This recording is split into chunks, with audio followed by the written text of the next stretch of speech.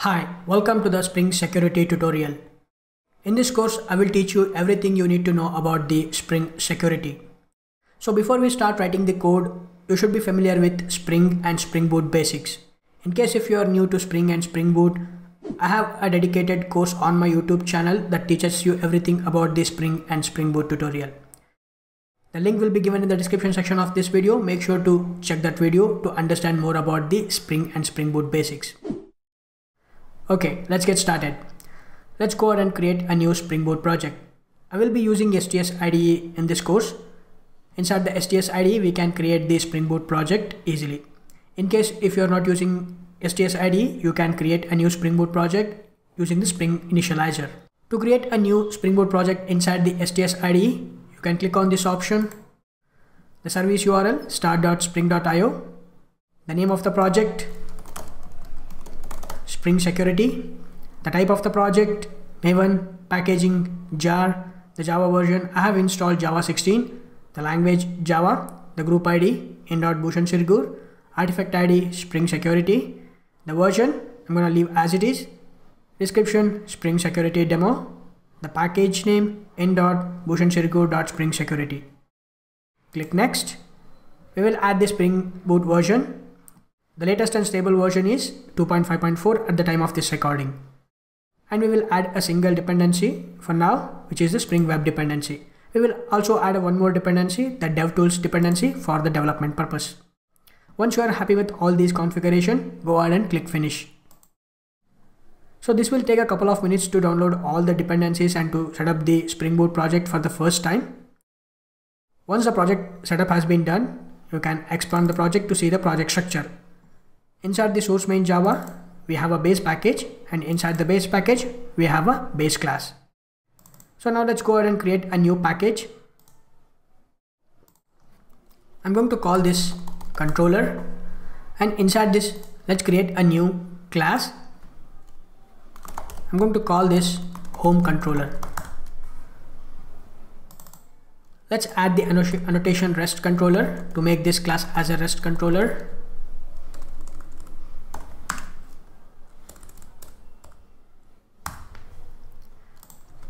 Let's create a new handler method, public. This will return string. I'm going to call this home. This will be a get mapping. The URI slash home. When the user navigate to the URI or the URL slash home, we will return a string. You are on the home page. Let's save this. Okay, now we have created a REST controller and, have, and we have exposed the REST endpoint slash home. Let's go ahead and run the application. Let's open the main class, the base class and right click and choose run as and choose Spring Boot application. This will start the Spring Boot application on the port localhost 8080. Let's navigate to the browser and enter the URL localhost 8080 slash home, we should see the message you are on the home page. Okay, so now we have created a REST endpoint. Let's go ahead and add a Spring security to our application. The moment when we add a Spring dependency to our Spring Boot application, there are a lot of things will happen behind the scenes. Let's understand in detail one by one. So when the user sends a request to the Spring Boot application, First, the request goes to the authentication filter. Authentication filter is a servlet filter. It's not only a single filter, it contains a chain of filters. And the, jo the job of the authentication filter is to authenticate the user. If the user is not authenticated, then it sends the request to the authentication manager.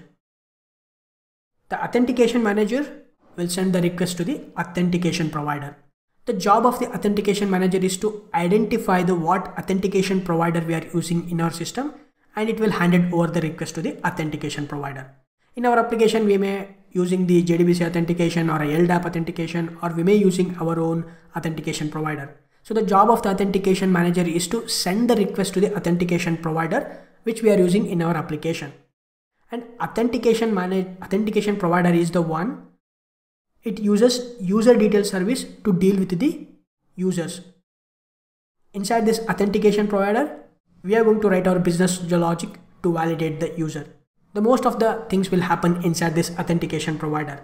The authentication provider uses user detail service to deal with the user details and the password encoder to deal with the encrypting the passwords. And once everything is done, once the user is validated, the request will send it back to the authentication manager and the authentication manager will send the request back to the authentication filter. So the authentication filter, it stores the user details inside the security context for the future reference or the future use and the request sent back to the client. Next time, when the user again sends a request, the authentication filter, first it will check in the security context. Inside the security context, if the user details are present, if the user is already validated, then it is not going to send the request to the authentication manager. It will directly send the request to the resource that the user is looking for. This is how internally the Spring Security works. When the user sends a request, every request goes through this chains of filters. Again, it is not only a single filter, it is a chains of filters. The request has to go through these filters. It send it to the authentication manager. Authentication manager will identify the authentication provider and the authentication provider internally uses user details and password encoder. And once the user is validated the request will send back to the authentication manager. The authentication manager will send back it to the authentication filter.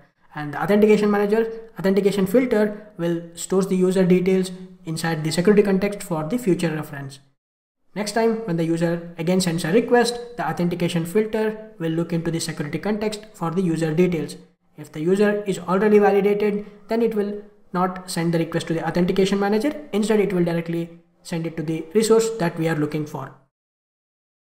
Alright, so now let's go ahead and add a dependency our Spring Boot application and let's see how it works. Okay, let's go ahead and add the Spring Security dependency to our application. First of all, I'll stop the server. Right click on the project, go to Spring and choose add starters and add the Spring Security dependency and click next and click on this copy all non-conflicting changes from left to right and click finish once we added the spring security dependency to our application inside the pom.xml file it also added one more dependency which is spring security test dependency. Okay so when we add this dependency to our spring boot application by default all our resources will be protected. Let's actually prove that. Let's run our application. And if you navigate to the browser the moment you enter the URL localhost colon 8080 slash home you will see a login page which means we are not able to access the resource which is slash home when we add the dependency Spring Security, by default, the Spring Security protects all of our resources. We do get this login form. Let's understand this in detail. When the user sends a request to the Spring Boot application, first the request goes to the authentication filter. The authentication filter will authenticate the request. If the user is not authenticated, then it sends the request to the authentication manager. The authentication manager will send the request to the authentication provider. By default, it uses the basic authentication and it uses the default implementation for the user details service. Internally, it creates a new user with the name user and it creates a UUID as a password. And it uses the NoOp password encoder. It does not encode the password. Okay, let's navigate to the browser and enter these credentials inside the browser. Okay, let's enter the credentials.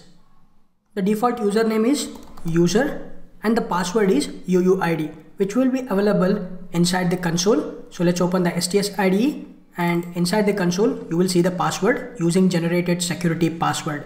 Let's copy this password. As you can see this is a UUID and it is not encrypted. Let's navigate to the browser and paste the password and when you click on this sign in you will see the message you are on the home page okay now let's understand what will happen if the user sends a request again when the user sends a request again or the second time the authentication filter authenticate that request. If the user, user is already authenticated, it will check in the security context. If the user details is already present, then it will not send the request to the authentication manager. It will directly send the request to the resource that the user is looking for. Let's actually prove this. Let's open a new tab and enter the same URL localhost colon 8080 slash home. When you hit enter, this time we will not see the login form. The authentication filter will authenticate the user and if the user details are already present in the security context, it will send the request to the resource that the user is looking for. The request will not be sent to the authentication manager and the authentication provider because the authentication filter it checks in the security context. If the user details are present in the security context, it will directly send the request to the resource that the user is looking for. That's why we are not seeing the login form again. When the user sends a request to the application for the very first time, the request goes to the authentication filter. The authentication filter authenticate the request. If the user is not authenticated, it will send the request to the authentication manager. The authentication manager will send the request to the authentication provider and we will validate the user inside the authentication provider and it will send the request back to the authentication manager. The authentication manager will send the request back to the authentication filter and authentication filter will store the user details inside the security context for the future reference. It will create a JSession ID and it will store inside the cookie. Next time when the user sends a request again, the authentication filter look into the cookie and it finds the JSession ID. If the JSession ID is finds, then the user is validated and it will send the request to the resource that the user is looking for. Let's see exactly where we will get the JSession ID inside our browser. Let's open a new tab and navigate to the URL localhost colon 8080 slash home. When you hit enter, you will see the message you are on the home page. When the user sends a request for the second time, the request goes to the authentication filter and the authentication filter looks into the cookies for the JSession ID. So if you open the developer tools inside your browser, and go to the application and under the storage we have a cookies. If you expand this you will see the tab localhost colon 8080 let's open this and click on this. You will see the jsession id inside this the user details will be stored. The authentication filter will look into this jsession id if the jsession id is present it will not send the request to the authentication manager. It will send the request directly to the resource that the user is looking for. That is why we are not getting the login page second time. Let's actually delete this. Let's delete this.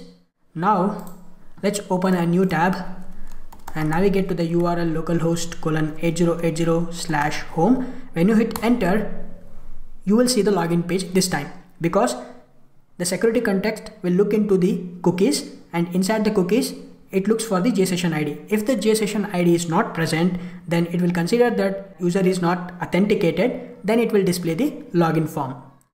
This is how internally it works. Now let's test this inside the REST client Postman. I will open the Postman, enter the URL localhost colon 8080 slash home. The moment when I click on this send, I do get the JSON response unauthorized 401 which is unauthorized. Let's go to the authorization and let's choose basic authentication. The username which is user, the password I will get inside the console. Let's copy this and paste it and click on this send. The moment we enter the username and password, we do get the response you are on the home page. Now, when the user sends a request again, let's say when I click on this send again, this time we should not get the unauthorized. Instead, we are getting the message you are on the home page. We are getting the response. So inside this postman, again, it creates a cookie. If you go to this cookies and or you can go to the headers and inside this headers, you will see there will be a cookie, which is a JSession ID you can click on this go to cookies or you can go here. Go to the cookies and you will see there will be a JSession ID so let's delete this. Now there is no cookies in our postman. Let's open a new tab and enter the url localhost colon 8080 slash home. When we hit enter again we do get the message unauthorized. So far what we have understand is when the user sends a request or Spring Boot application for the very first time, the request goes to the authentication filter. The authentication filter will authenticate the request. If the user is not authenticated, it will send the request to the authentication manager. The authentication manager will send the request to the authentication provider. By default, it uses the basic authentication and it uses the default implementation for the user detail service. Internally, it creates a new user with the name user and it generates a UUID as a password and it uses no password encoder. It will not encode the password and once the user is validated, it sends the request back to the authentication manager. The authentication manager will send the request back to the authentication filter and the authentication filter will stores the user details inside the security context. It stores inside the cookie as a JSession ID for the future reference and it will send the request back to the resource that the user is looking for. Second time when the user sends a request again, the request goes to the authentication filter and the authentication filter will look into the security context for the user details. It will checks for the JSession ID inside the cookie. If the JSession ID is present, then it will not send the request to the authentication manager. Instead, it will send the request to the resource that the user is looking for. This is how the Spring Security works internally for the default configuration. In this video, we will learn how to customize the Spring Security as per our needs. You will learn how to customize the HTTP request. You will also learn how to protect the URLs by authenticating the user. And you will also learn how to access the URLs without authenticating the user. Let's begin. So when we are working with the Spring Security, whenever we want to customize the Spring Security, we should use a special class called Web Security Configurer Adapter. This is the class which is provided by Spring Security. We need to use this class to customize the Spring Security as per our needs. So we have our configuration class mysecurityconfig and we need to extend this class with the web security configurer adapter. This web security configurer adapter class provides bunch of methods. It provides a method to customize the HTTP request. It also provides a method to customize the user details and a whole lot of methods. All we got to do is we need to extend this class with the configuration class and we need to override the methods and we need to provide our own implementations. Let's look at some of the important methods which is provided by Web Security Configurer Adapter.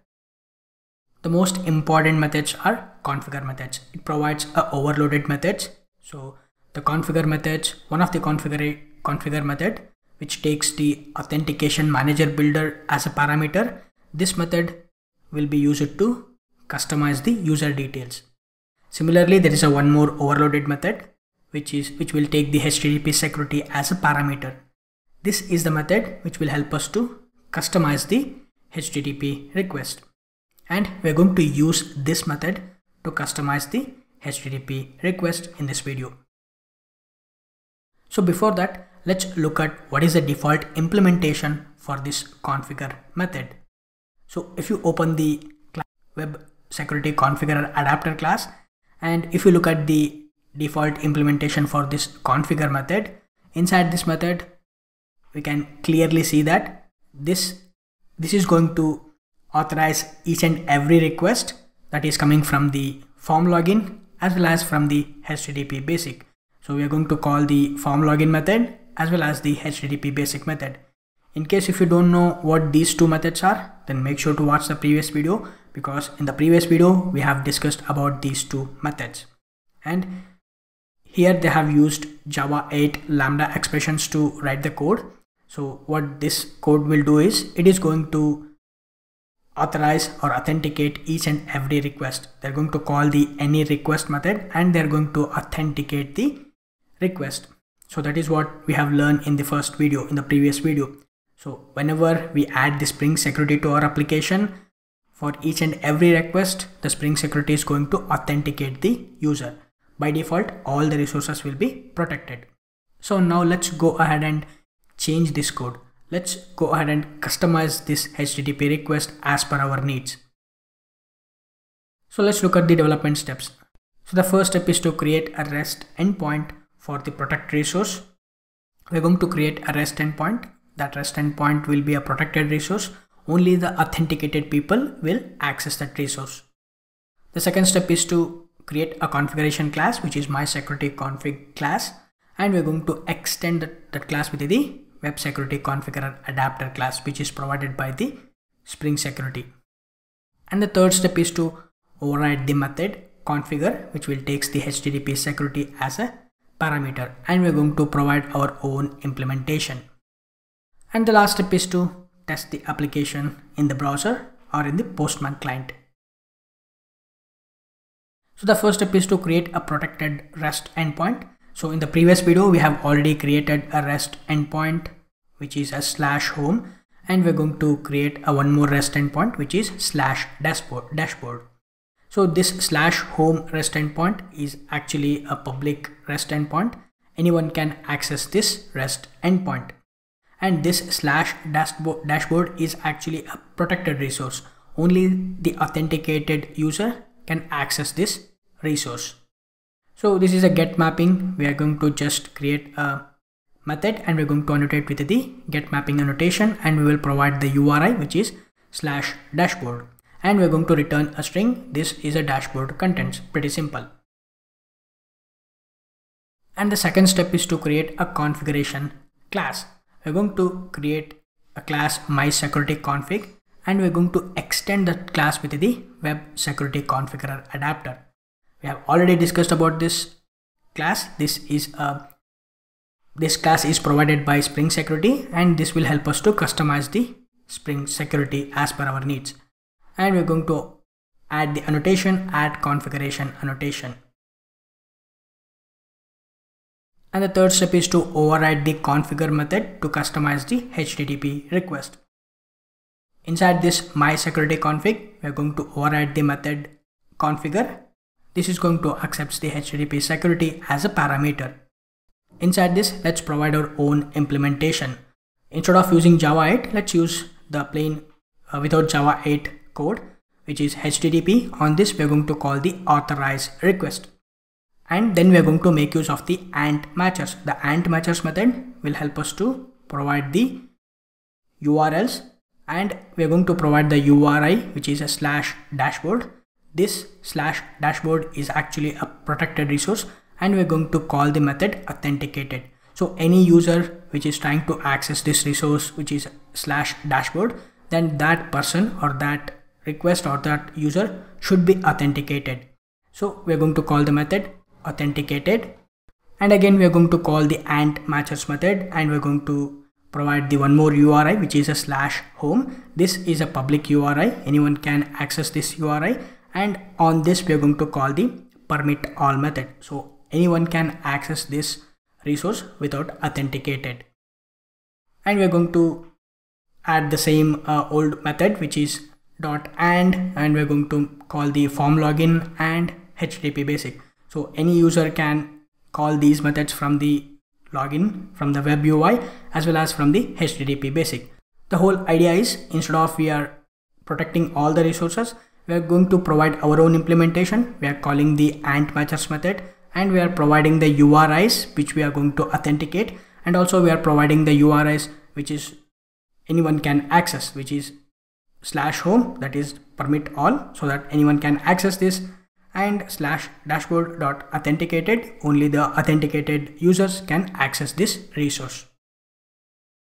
Alright now let's jump to the STS IDE and let's create these classes and let's override the configure method and let's test the API alright I'm inside the STS IDE and I have opened the home controller. Inside this let's create a new REST endpoint public string dashboard let's add the annotation get mapping and let's provide the URI slash dashboard. Let's return a static text. You are seeing the dashboard contents. So now this is a, we need to make this as a protected resource. Only the authenticated users can access this REST endpoint and this will be a public URI. Anyone can access this URI. So let's customize the Spring security. So let me save this file and let's open the project explorer and I'm going to create a new class. I'm going to call this my security config and I'm going to keep it inside a new package. I'm going to call this config. Click finish. So inside this first of all I'm going to mark this as a configuration class. So let's add the configuration annotation let's extend this class with the web security configurer adapter web security configurer adapter so let's go inside this class as we discussed, this will provide a bunch of methods. One of the method which we are interested in is configure method. Let's open the method configure. You can see we have a multiple configure methods which is overloaded methods. The one which we are interested in is the HTTP security as a parameter. Let's open this and if you take a look at this implementation, it's pretty straightforward. It is going to authenticate each and every request. So for each and every request, this is going to authenticate the request which is coming from the form login as well as from the HTTP basic. Now let's override this method and let's provide our own implementation. Inside this, let's override the method configure. This will take as a HTTP security as a parameter. so inside this I'm going to make use of this HTTP security HTTP dot we're going to call a method authorize request authorize request. And we're going to call the method ant matchers. For this ant matchers we're going to provide the URIs you can see we can provide a multiple URIs as well. Ant matchers slash dashboard. This is a protected resource and only authenticated users can access this URI so we are going to call the method dot authenticated next we're going to call the same method ant matchers and we're going to provide the URI slash home this is a public URI. Anyone can access this URI. We're going to call the method permit all. And we're going to call the method and this can be happen from the form login. We're going to call the form login and also anyone can call the HTTP anyone can access this from the HTTP request. So I'm going to call the method HTTP basic. Okay so now let's save this. Now let's open the browser and test the APIs so let me start the application. Let's me open the main class. Run as Spring Boot application the application is started. You can see it has been generated a password for us. Let me open the browser. Localhost colon 8080 so let's try to access the public url which is slash home. Hit enter. You can see you are on the home page. We can access this uri without authenticated because this is a public uri we tell spring boot that spring security that anyone can access this uri so permit we have called the permit all method so that anyone can access this uri but if i navigate to the uri slash dashboard when we hit enter you can see we get a login page. So only authenticated users can access that resource. So now let's type the username which is user and the password which is available in the console let me expand this and let me copy this and paste it. Now when I click on this sign in you can see you are seeing the dashboard contents. So now we can access this URI uh, only when the user is authenticated. And for the slash home anyone can access that because that is a public URI alright so this is how we can customize the Spring security as per our needs this is how we can customize the HTTP request. That's it for this video. I will see you in the next video. In this video, we're going to learn how to deny all the HTTP requests inside the Spring Security application. Assume that there is a scenario we need to deny all the HTTP requests. In that case, inside our security configuration file, we can write a code to deny all the HTTP requests. So any request that comes to our Spring Boot application, the Spring Security will deny those requests. Let's see how we can do that.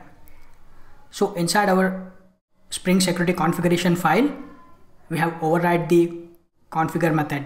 So this will accept the HTTP security as a parameter. So inside this, we may call the deny all method. So all we got to do is we need to call the authorized request dot any request. So any request that comes to our application we need to deny those requests. So we'll call the deny all method and we will call the http basic method. So any request that will comes from the http that we're going to deny those requests. So now let's jump to the sts ide and let's write a code for this and test our application. All right i'm inside the sts ide let's open the explorer and let's go to the configuration class which is my security config. And inside this what I'll do is I'm going to remove all of this code. And let's make use of this HTTP security. HTTP dot authorize requests. Authorize requests. Any request dot deny all. We're going to call the deny all method so any request that comes to our application, we're going to deny those requests and we're going to call the HTTP basic. So now let's save this. Let's start the application. Run on Spring Boot application. Okay, our application is started. Let's open the Postman because I have removed the HTTP form. So we are just stick to the HTTP basic. So let's open the Postman. localhost colon 8080 slash we have two REST endpoints slash home and slash dashboard. Let's try for slash home. The moment we click send, we should get the message unauthorized, the status 401, which is forbidden okay so now let's try for dashboard. And the moment we click send you can see we get the message unauthorized. So any request that comes to our application the spring security will deny those requests. Okay now let's discuss the valid scenario. For example we have created a spring boot application and in our application we have two different users. One is the user and the admin so admin resources are protected resources and the user resources are public resources. So anyone can access the user resources. Whereas the admin resources are protected resources. So whenever the user is logged in, if the user is try to access the admin resources, we have to deny those requests. Okay, whereas uh, in the user resources, anyone can access those resources. So how to achieve that? So let's go to the STS. Let's create a new controller, which is admin controller. Inside the controller package, I'm going to create a new class and I'm going to call this admin controller. And I will quickly add the REST controller to this REST controller. And I will also add the request mapping request mapping. And I'm going to provide a class level URI which is slash admin. And I'm going to create a two REST endpoints public string admin home admin home. This is a get mapping. Get mapping. Let's add the URI slash home. Let's return a static text which is admin home. And I'll quickly copy this and I'll paste it. I'll change this to admin dashboard. Admin dashboard. And I'll quickly add this to dashboard. And let's change the text to admin dashboard.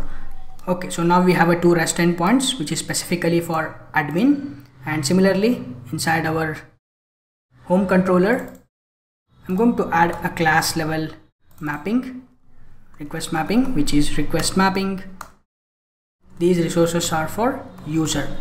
So user slash user slash home slash user slash dashboard so let's save this. So now let's go to the security config file. And inside this let me get rid of all this. Http dot authorize requests dot ant matchers. We're going to provide the URI which is slash user slash star star which means any URI that comes after the slash user that should be a public URL we need to permit those. Request permit all. Similarly dot ant matchers slash admin slash star star.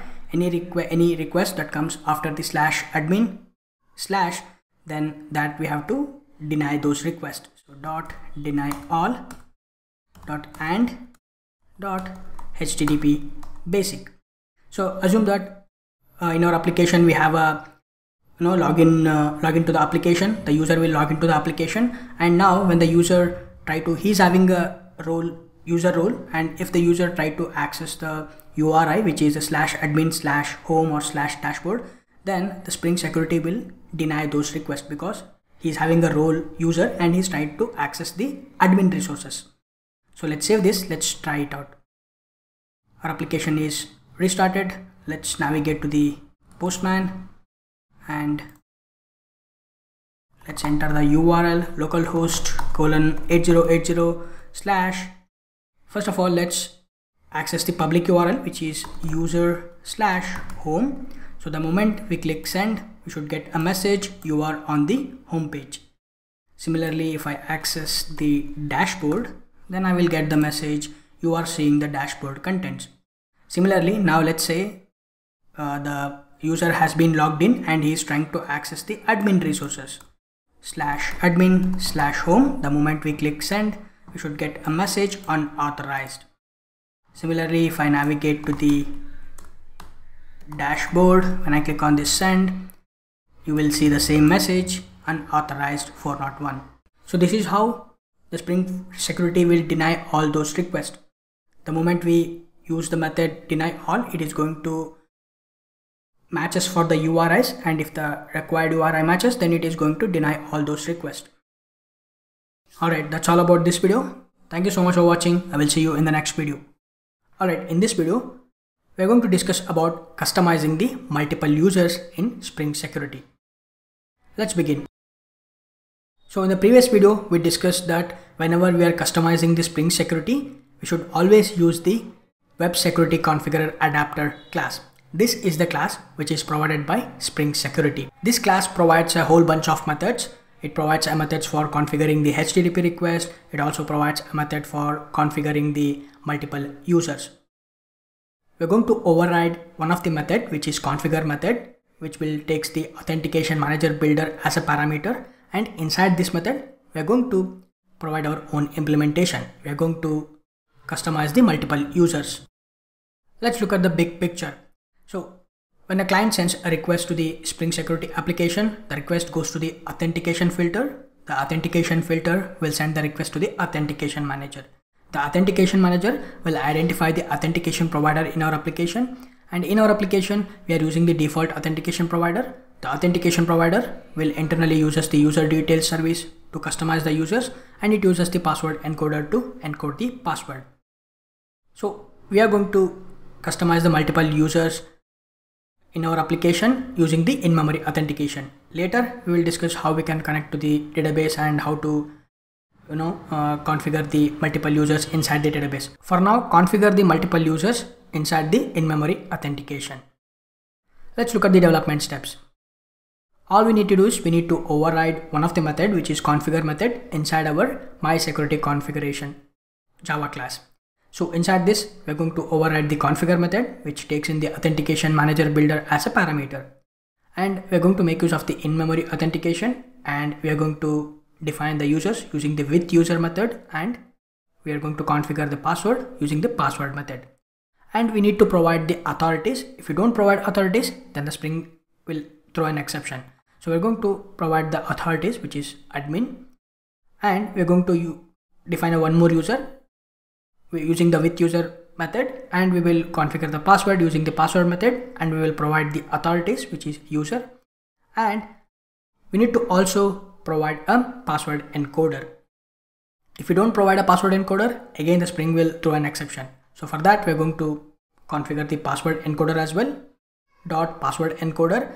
For now we are going to use no no op password encoder. We are not going to encode any password. So we're going to use no op password encoder and we will call the get instance method. Of course, this method is deprecated, but for now, let's use the no op password. Once we connect to the database, we can use the any other password encoder techniques. Alright, now let's jump to the STS and let's write a code for this. Alright, I'm inside the STS IDE. I'm inside the my security config file. And what I'll do is I'm going to slightly modify this method. In the previous video, we have modified this configure method. What I'll do is I'm going to remove this star star and I will add home. So we're going to permit this URI which is slash user slash home for all the users. And for slash user slash dashboard slash user slash dashboard we're going to authenticate it. So authenticated all right. So next to configure the users we are going to override the method which is configure which takes in the authentication manager builder as a parameter. So inside this method what we're going to do is we are going to make use of this authentication manager builder. So auth dot we're going to make use of the in-memory authentication in-memory authentication. We're going to use with user to create the user I'm going to call this Bushan. I will provide the username as Bushan dot password to configure the password. Let's say one, two, three, four, five, and we need to provide the authorities. For now, let's you give the authorities as admin. To define a multiple users, we can create multiple users with the same with user, the username which is user itself, and password let's use the password 12345 and we will provide the authorities. Let's say this is a user authority. Instead of this user I'm gonna call this Pawan.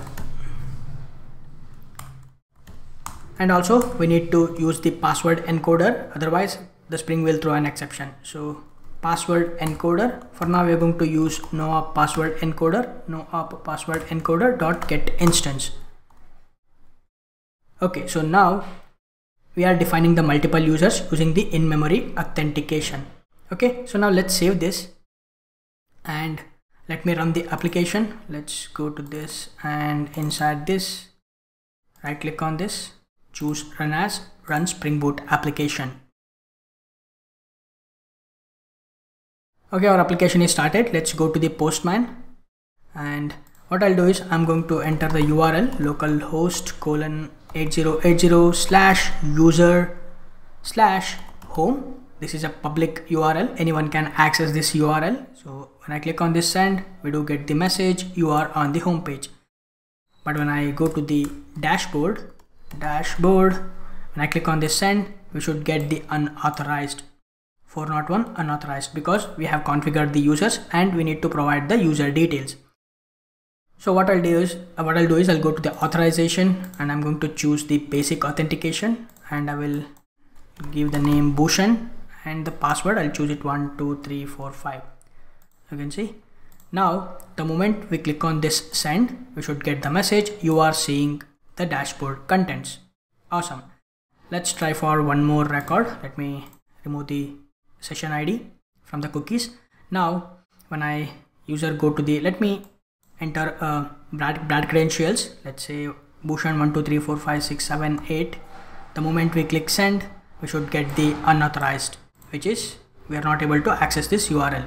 Now let's provide one more user details credential, which is Pawan and which is 1, 2, 3, 4, 5. The moment we click send, we should get the message you are seeing the dashboard contents. Awesome.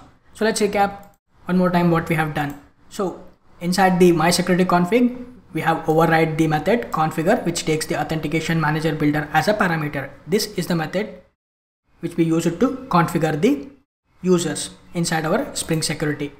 Inside this, we have used the in-memory authentication to configure the multiple users. We called the with user method to provide the username and password method to provide the uh, password and we have used the authorities to provide the authorities for the users and also we have used the password encoder and we used the no op password encoder to not to use any password encoder techniques. Alright, that's all about this configuring the multiple users. In the next video, we're going to discuss more about this user details. I will see you in the next video. In the previous video, we have discussed about customizing the Spring Security.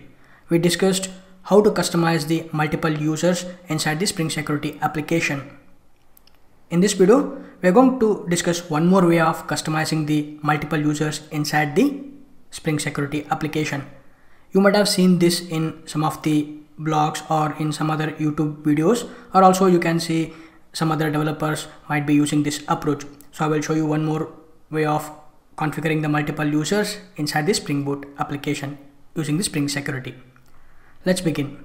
First, let's look at the control flow of the Spring Security. So when a client sends a request to the Spring Security application, the request goes to the authentication filter. The authentication filter will send it to the authentication manager Authentication manager will identify the authentication provider which is used in the application and the authentication provider internally uses the user detail service as well as the password encoder. We are going to make use of the in-memory user details manager to configure the multiple users.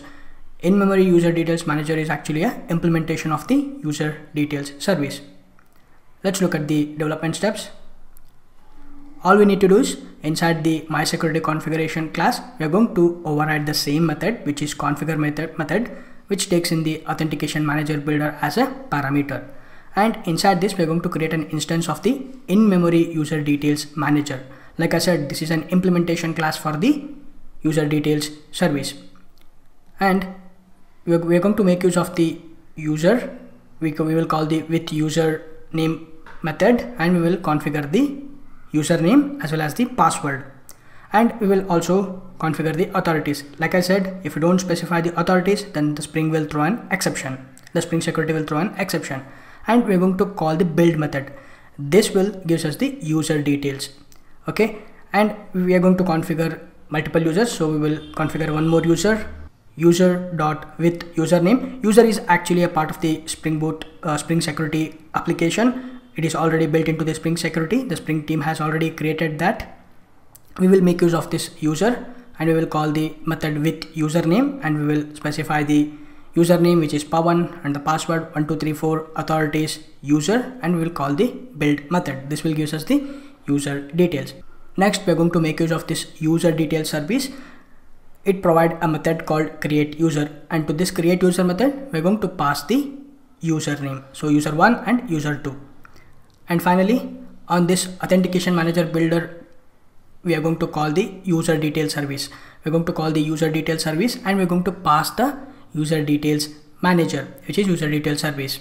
So this will configure the two users inside our spring security application bushan and pawan which is having the authorities admin and user and also we need to provide the password encoder as well if we configure if we did not configure the password encoder Spring Security will throw an exception. So we're going to create a bean of password encoder. We're going to use NoOp password encoder. We're, going, we're not going to use any of the encoding techniques. So we'll use NoOp password encoder and we'll call the get instance method.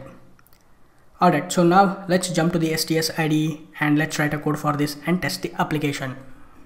Alright, I'm inside the STS IDE. Let's open the configuration class, which is my security config. I'm going to comment this method. Let me create some white space. So let's override the configure method. Configure, which takes in the authentication manager builder as a parameter.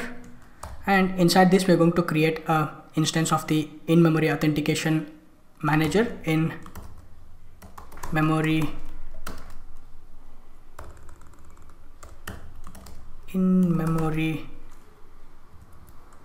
user details manager.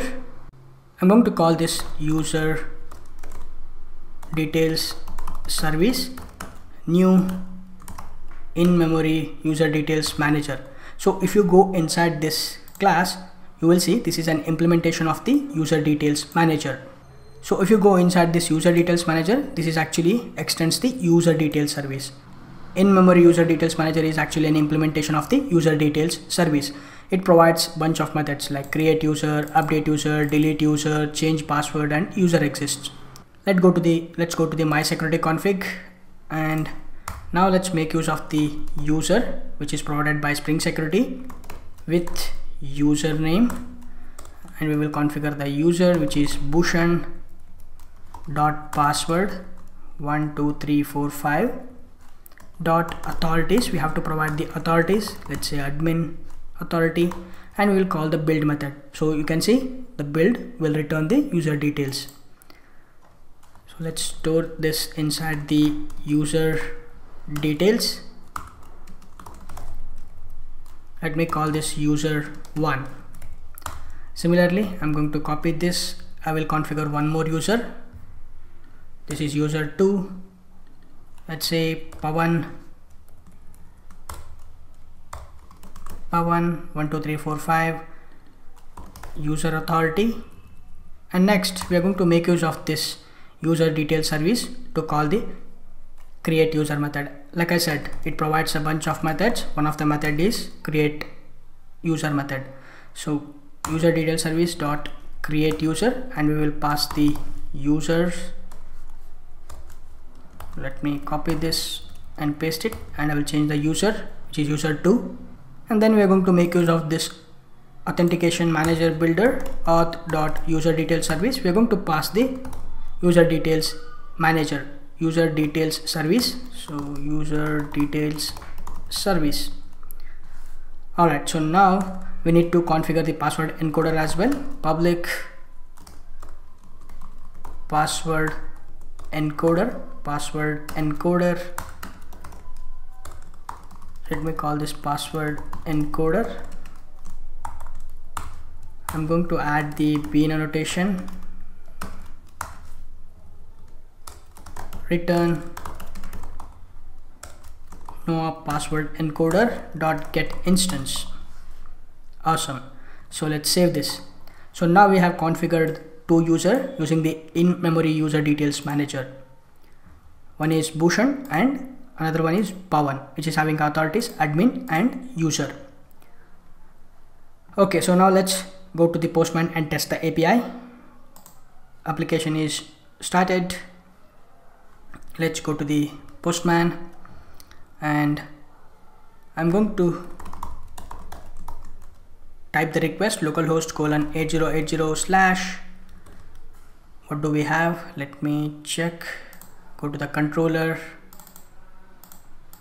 Home controller we have slash user slash home. Slash user slash home is actually a public url public resource. Anyone can access this.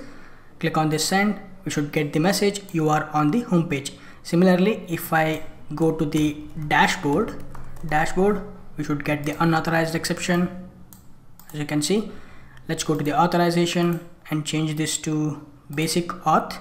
Let's provide pawan and 12345 the moment we click send we should get the message. You are seeing the dashboard contents. Awesome. So what do we have done so inside the security config, we have override the method configure, which takes in the authentication manager builder as a parameter. And we make use of the in-memory user details manager, which is actually an implementation of the user details service. And we have created the users using the Spring provided class which is user and we will configure the username and password and authorities and finally we're going to create those users using the user details service. And finally we're going to provide the user detail service to the authentication manager builder. And we have configured the password encoder. We have configured NoOp password encoder. Okay that's all about this video. I hope you understand. And in case if you are looking for the source code you can head over to my website bushansirgur.in and go to the spring boot and go to the spring security and you will see all the posts which I have written regarding the spring security. That's all about this video. Thank you so much for watching. I will see you in the next video. In this video, we're going to create a custom user details service class. Let's begin. Let's look at the Spring Security control flow. As we discussed earlier, whenever the client sends a request to the application, the request goes to the authentication filter. The authentication filter will validate the user. If the user is already authenticated, then it will send the request to the resources that the user is looking for. If the user is not authenticated, the request send it to the authentication manager. The authentication manager will send it to the authentication provider. The authentication provider will use the user detail service as well as the password encoder. So in this video, we're going to create our own custom user detail service class and we're going to provide an implementation to validate the user. We're going to validate the user against the MySQL database. We're going to configure the users inside the MySQL database and we're going to validate the users against the MySQL database. So let's look at the development steps. So the first step is to add the following Maven dependencies. Since we are connecting to the MySQL database, we need to add the data JPA. We will also add the MySQL connector as well as we will add the Lombok. Lombok is a Java library which will help us to reduce the boilerplate code. The second step is to configure the data source. We are going to configure the data source for MySQL database spring.datasource.url which is the MySQL database URL and the database name DemoDB. The username which is root the password, my password. Make sure to change the username and password as per your MySQL installation. And we will add the Hibernate property, which is jpa.hibernate.ddl minus auto. We will set this to update. This property will automatically create the database tables for us when we run the application. The next step is to create a JPA entity. We're going to create a JPA entity user and we will add the Lombok annotation data and we will add the JPA entity at entity and we will provide the table name which is users and we will create the fields ID, email and password. We will add the ID annotation and generated value annotation for the ID property and we will set the generation type to identity. And the next step is to create a JPA repository for user entity we will create an interface user repository. It extends the JPA repository. We will provide the entity name user and the primary key type which is long. Inside this we will create a query method which is find by email and we will pass the email. This will return the optional of user. We are creating this query method because we need to validate the user against the MySQL database with the email address. So for that we are creating this finder method which is find by email and the next step is to create a custom user details service. We're going to create a custom user details service with the name custom user details service. Like I said, we're going to implement the user details service. We're going to use the user details service. This is the predefined user details service which is created by Spring team. We're going to make use of this user details service interface. This interface will provide a method load by username. Inside this load by username, we are going to write our own logic to validate the user against the MySQL database. This will accept the username as a parameter. In our case, the username is nothing but the email address. At the top, we will auto-wire the user repository because we need to call the repository method find by email. Inside this, we are going to make use of the user repositories to call the find by email method and we will pass the email address. We are going to throw the user not found exception if the user is not found. and once we found the user we are going to make use of the this method actually return the user details. So we are going to make use of the spring provided class user and we are going to pass the email address and password. Like I said we also need to provide the authorities but we are not dealing with the authorities as of now so we will send an empty array. So this will return the user details. So this user class is an implementation for the user details so we will return the user details. And the last step is to we need to tell spring security that we have created a custom user detail service class and you need to use that class. So inside the mysecurity config class inside the configure method we are going to make use of the authentication manager builder auth dot user detail service. We will call the user detail service method and to this user detail service class we are going to pass our own custom user detail service class and we will call the password encoder method. We will pass the password encoder. For now we are not using any password encoding technique. We are using a plain passwords. Alright so these are the development steps for creating a custom user detail service class. Now let's jump to the STS IDE and write a code for this and test the APIs okay. I'm inside the STS IDE so the first step is to create a database. Let's go to the MySQL database. And inside this let's create a new database. Create database the database name demo DB. let's execute the query. The database has been created. You can refresh this and you can see. The next step is to we need to add the maven dependencies. So right click on the project choose spring and click on this add starters. We are going to add the spring Lombok Spring Security we have already added. So we will add the Spring Data JPA and the MySQL driver. So Lombok, Data JPA and MySQL driver. Click Next. We can click on this copy all non-conflicting changes from left to right and click Finish. Okay, we have added the dependencies and it will start downloading all the dependencies. The next step is to configure the data source. So inside the resources, open the application.properties file. In this file, we will configure the data source. We will configure the data source for MySQL database. Spring dot data source dot URL and we will provide the JDBC URL JDBC colon MySQL colon double slash localhost colon 8080 slash demo db. This is not 8080 this is 3306 and also we need to provide the database username and password. Spring dot data source dot username which is root spring dot data source dot password. Sc bushan 05 Make sure to change the username and password as per your MySQL database installation. We will add one more property which is Hibernate property to generate the database tables spring.jpa.hibernate.ddl minus auto. We will set this to update. Let's save this. So now we have configured the data source. The next step is to we need to create a JPA entity let's create a new package. I'm going to call this entity.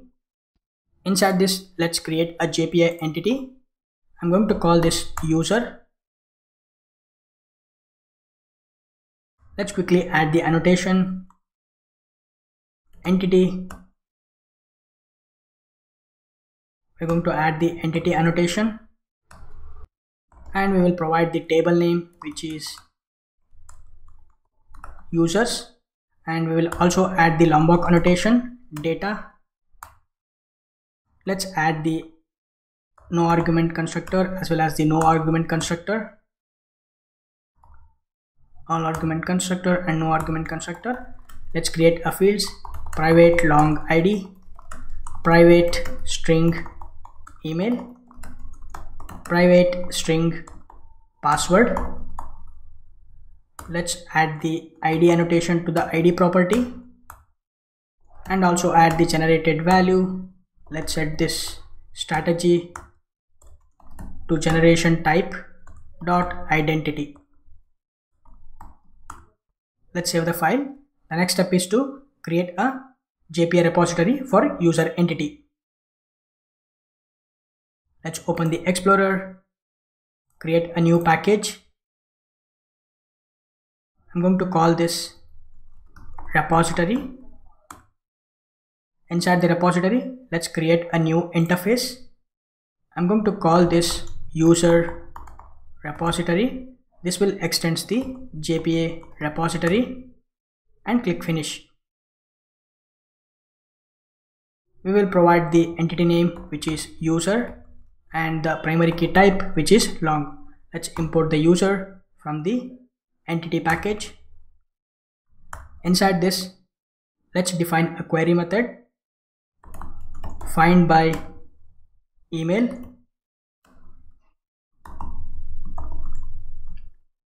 We will pass the email address as a parameter. This will return the optional of user. Let's import the optional from the util package so let's save this. So now we have created a repository and we have defined the method find by email. The next step is to create a custom user detail service class. So i'm going to create a new package. I'm going to call this security. Inside this let's create a new class. I'm going to call this custom user details service. This will extends the user details service class. User details service. Click finish.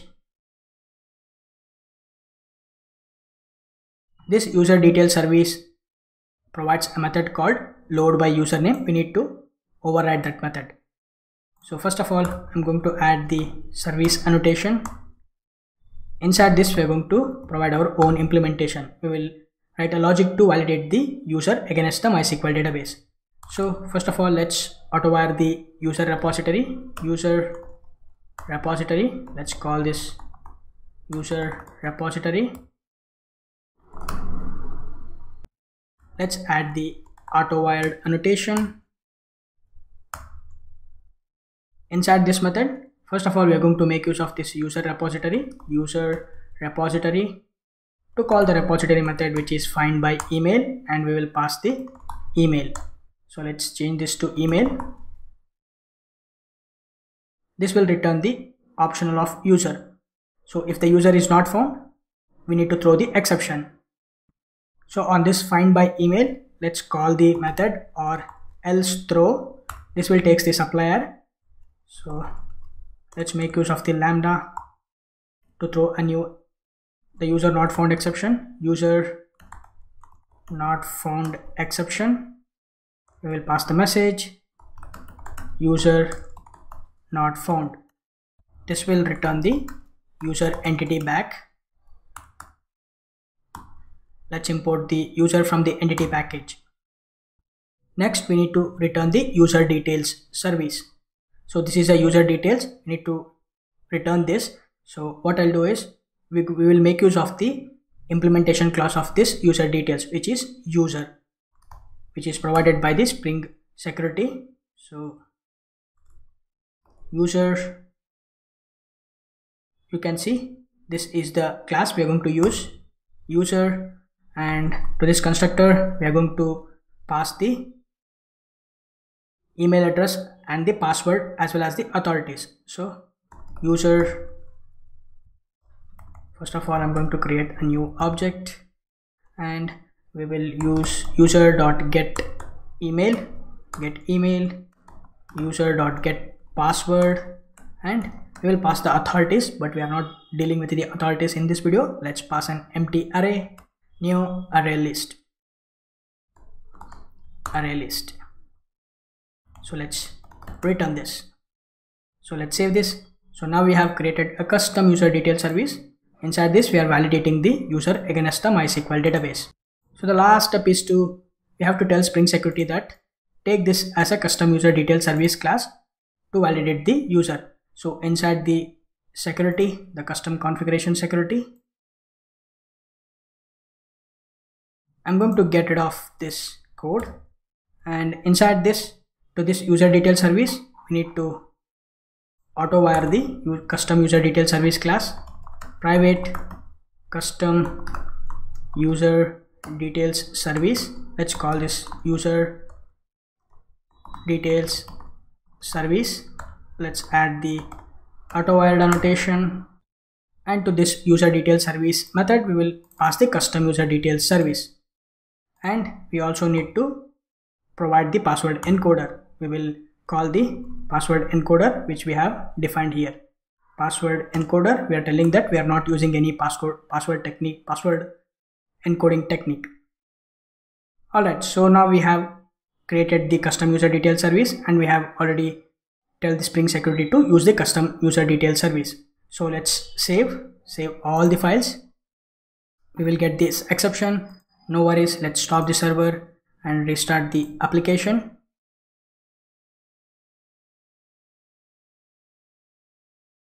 looks like there are no errors. All right. So first of all we need to add few details to the database record. So right now the database records are empty. Let's go to the database and refresh this. If you go to the db we have this users table. And inside this let's add a few records. One email address. Let's add tom at gmail.com password tom at the rate 123 let's click on this apply click apply. Similarly let's add one more record. Id 2 email address harry at gmail.com the password harry at 123 so let's click on this apply click apply. So if you execute the query we have two records tom at gmail.com tom at the rate 123 password harry at gmail.com harry at the rate 123 password all right we all set now. Let's test the api let's go to the postman. And i'm going to enter the url localhost colon 8080 slash home. This home is actually a public api anyone can access this api the moment we click on this send we will get this 404 let's see whether do we have this API or not. Let's go to the controller home controller okay we need to add slash user. So let's add the slash user slash user slash home. This is a public API we are getting the message. You are on the home page. Similarly if I enter the dashboard this is a protected URL the moment we click on this send we will get the unauthorized. So we need to authorize this. So let's go to the authorization tab and choose basic auth and let's provide the username which is tom at gmail.com password which is tom at the rate 123 so click on the show password tom at the rate 123 tom at gmail.com first let's actually enter a wrong credential. Let's say tom at the rate itself. The moment we click on this send we should still get the message unauthorized. The moment if I provide the correct credential tom at the rate 123 click on the send we should get the message. You are seeing the dashboard contents okay in this video we have learned how to create a custom user detail service class and we will learn how to validate the user against the MySQL database. That's it for this video. I hope you guys understand something out of this video. Thank you so much for watching. I will see you in the next video. Make sure to subscribe to my YouTube channel for more such awesome videos. I will see you in the next video. Now let's come back to the today's video. In this video, we're going to learn how to encode the password. Earlier, we used to save the password in a plain text inside the database. Now we're going to encode that password and we're going to store it to the database. Let's see the development steps. So in order to encrypt the password, we're going to use one of the class which is provided by the Spring Security, which is bcrypt password encoder. Inside the MySecurityConfig class, we're going to create an instance of the bcrypt password encoder. Earlier, we used to return the instance of the NoOp password encoder. Now, we're going to replace that with the bcrypt password encoder. This will help us to encode the password. The next step is to create a model class for register API. we're going to create a model class which contains the properties such as email and password. We will add the data annotation from the Lombok. And the last step is to create a REST endpoint for register API. Inside the home controller, we're going to create a new API which is register, the URI which is register. This will be of post mapping. Sorry about that. I forgot to change this to post mapping. This will be a post mapping and we will create a method register. This will takes the user model as a parameter. We will make use of the request body to bind the HTTP request body to this user model bean. Inside this, we will create an instance of the user entity and we will set the email and password.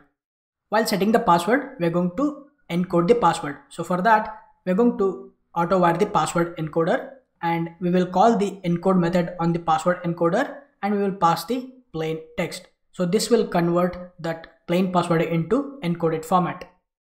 And finally, we will save the entity to the database.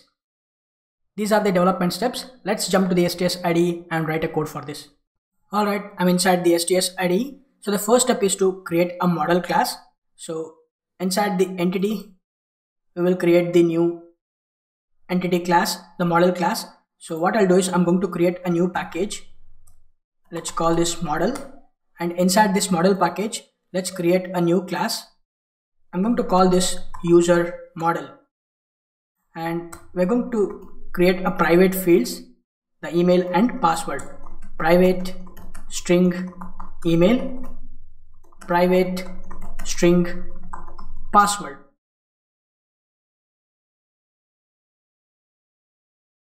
We will add the Lombok annotation which is data.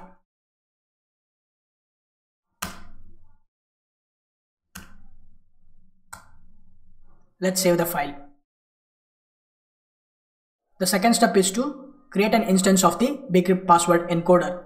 So inside the configuration file, we are going to return the instance of the bcrypt password encoder. So let's get rid of this no password encoder, return new bcrypt password encoder. This is the class which will help us to encode the password. Let's save the file. I'm going to modify this configure method as well. HTTP dot, we're going to first disable the CSRF. CSRF dot disable ant matchers. We're going to permit the register API. Of course, we haven't this API in, in, in our application. We're going to create that in just a bit. We're going to permit this URI for all the users and we are going to make use of dot any request that should be authenticated. Authenticated. And http basic. So inside the controller class we have this home controller. And i'm going to get rid of this request mapping at the class level. And i will change this to register. This is a public url anyone can access this I will change this to post mapping and we're going to receive the user model. Let's make use of the request body. Let's bind this to user model. Let's call it call this user model. Inside this, we actually return the user entity, user entity, and inside this, let's create an instance of the user entity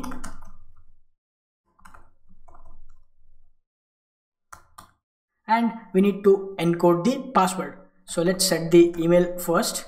new user dot set email user model dot get email and we will set the password. new user dot set password so in order to encode the password password we need to en we need to auto wire the password encoder. Private password encoder. Encoder. Let's call this password encoder and add the auto wired annotation and inside this let's make use of this password encoder password encoder to call the encode method this will takes the plain text so let's get the password from the user model. So this password encode will encode the password and we need to save to the database. So for that we need the user repositories. So let's auto wire the user repository.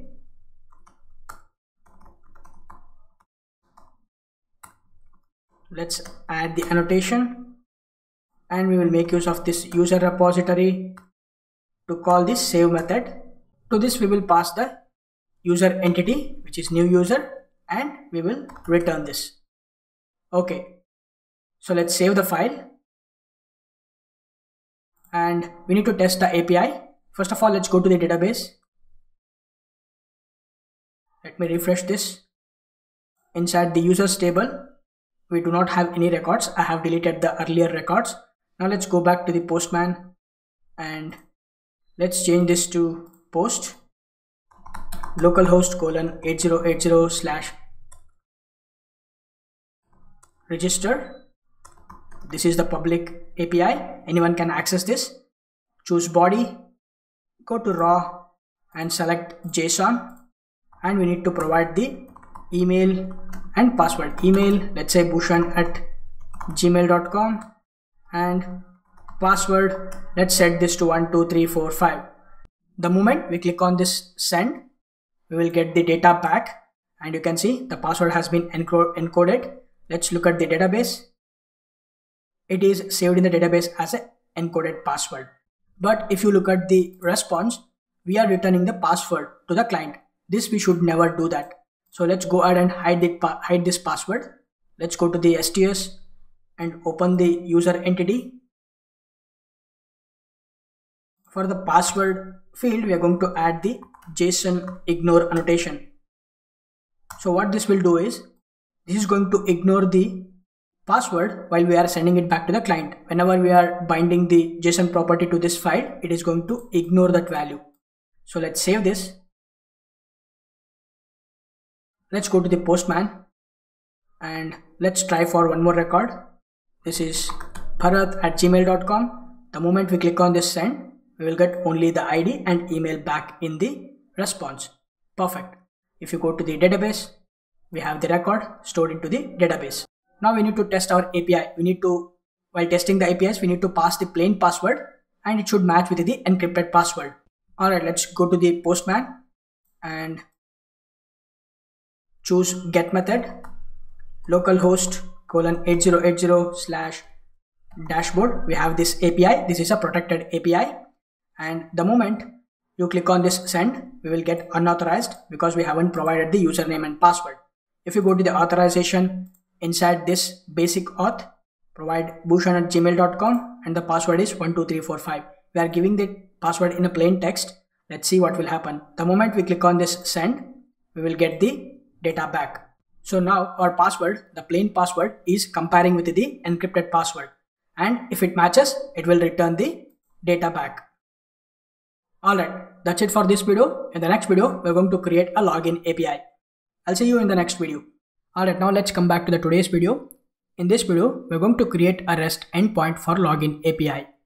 Let's look at the development steps. So the first step is to create an authentication manager bean. Inside the configuration class, we're going to create a bean for authentication manager. This is the one which will help us to authenticate the user. Inside the MySecurity config, we're going to override the method authentication manager bean. This will return the authentication manager object. And we will add the bean annotation. The second step is to create a REST endpoint for login API. Inside the home controller, first we are going to auto-wire the authentication manager. And we will create a method login and we will add the annotation post mapping and we will provide the URI slash login. This method will accept the user model as a parameter. We will make use of the request body annotation. Inside this, we're going to make use of the authentication manager to call the authenticate method. This authenticate method accepts the authentication object.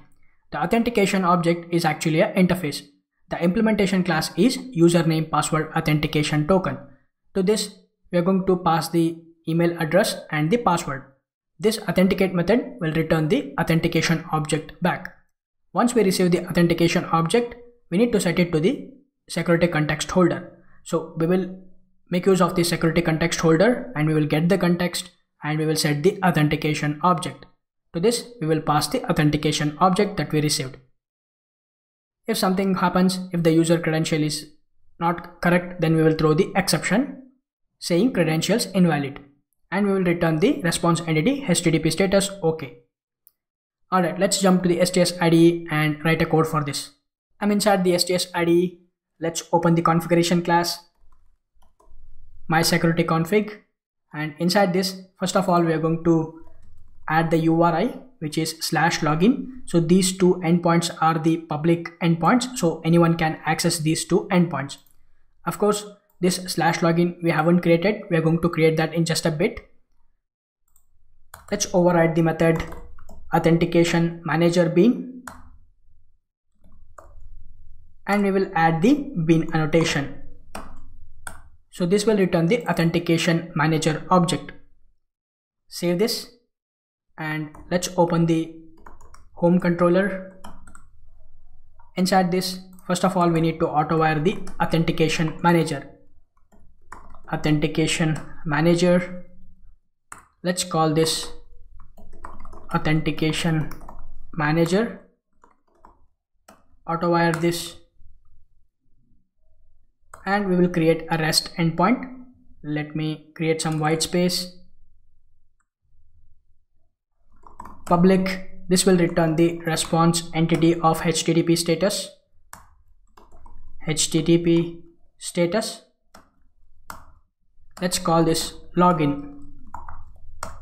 We will add the annotation post mapping and we will provide the URI slash login. This login method accepts the user model request body user model. Let's call this user model. And inside this we're going to create the authentication object. We're going to create an instance of the authentication object. Authentication let's call this authentication.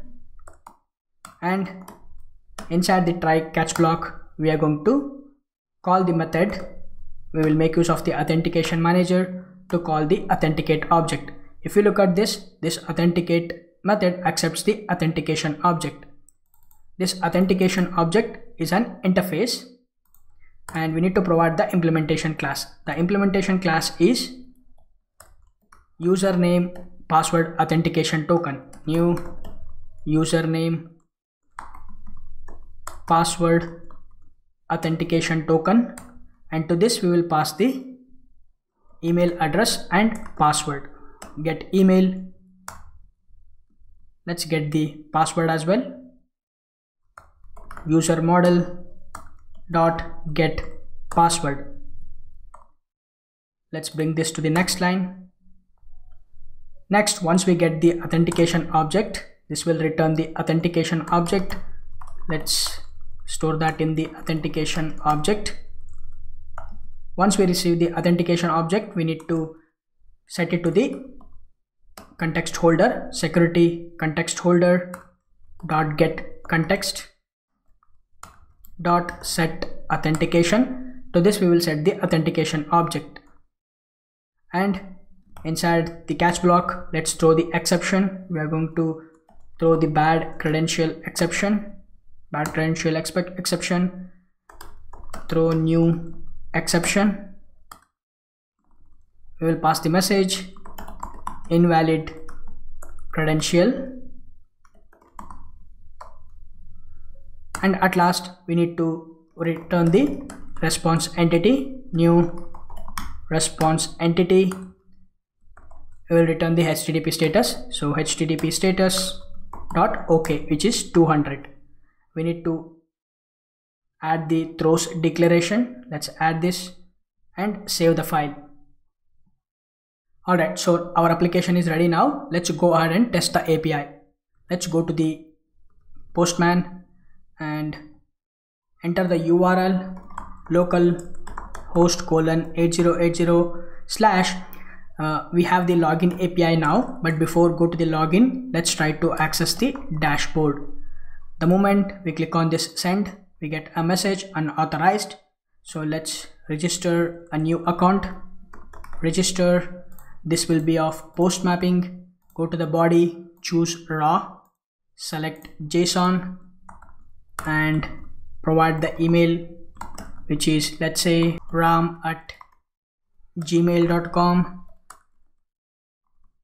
password 12345 and the moment we click on this send we get a new user back. And now the user has been created. But if I go to the register dashboard again the moment we click on this send still we get the unauthorized because the user has not yet logged in. Now the user will log in set this to post and click send. The user has been logged in 200 okay. Now if the user try to access the dashboard which is a get mapping click send. We do get the message you are seeing the dashboard contents. Awesome so now we have created the rest endpoint for login API and it is in place now. That's it for this video. I will see you in the next video. In this video, we're going to create a custom authentication provider. Let's begin. So before we understanding the custom authentication provider, let's understand the control flow of the Spring Security and let's understand where we can exactly create the authentication provider, the custom authentication provider. Now you can enroll into my premium courses on Udemy I have three specific courses. The first one is Build Production Ready REST API with Spring Boot, which includes the Expense Tracker API. The second one is Full Stack Development with React and Spring Boot, that includes the React hooks. And the third one is JSP and servlets for beginners. All the links will be given in the description section of this video.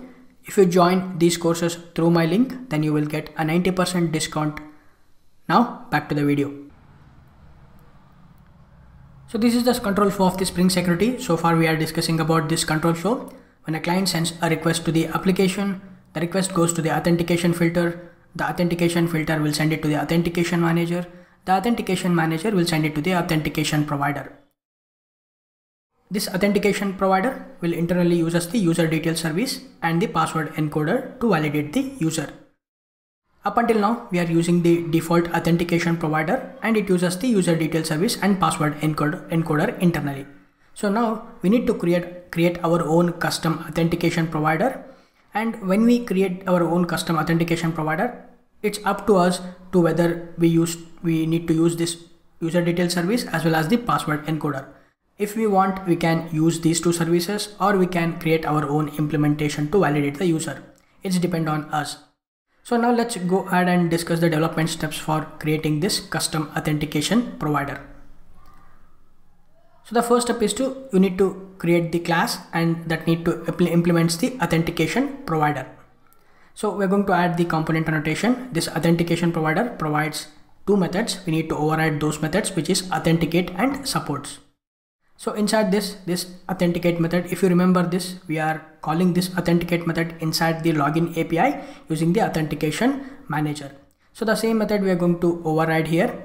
This authentication object contains the username and password. So we will get the username and password from this object and we will first we will validate the user. So we will call the repository method find by email and we will pass the user email address and if the user did not find then we're going to throw the exception username not found exception.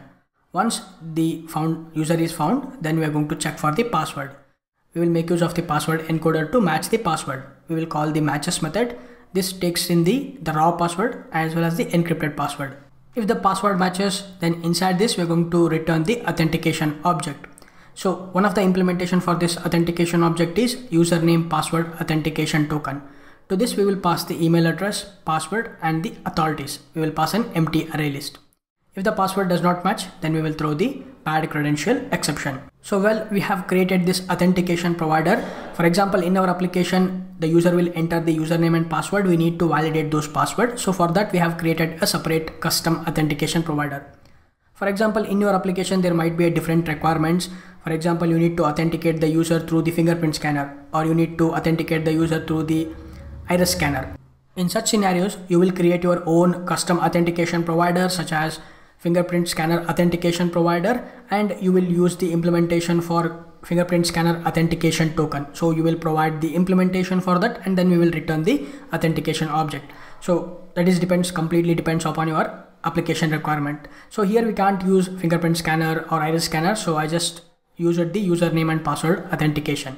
So the user will enter the username and password and we will validate through the database we will ag validate against the database so for that we have written this business logic so the next method is the supports method. This supports method will actually return the boolean and this method is going to check all the authentication providers that it supports. So right now we are only supporting the username password authentication token. So we are checking this authentication dot equals username password authentication token. If this matches then it will, it will return the true. That's it. This is the only change that we need to do. The second step is actually pretty simple inside the configuration class, the Spring Security configuration class, we need, we need to register this custom authentication provider. I will show you that how you can do that inside while coding that. Now let's jump to the STS IDE and let's write a code for this. Alright, I'm inside the STS IDE. Let's go ahead and create a new authentication provider.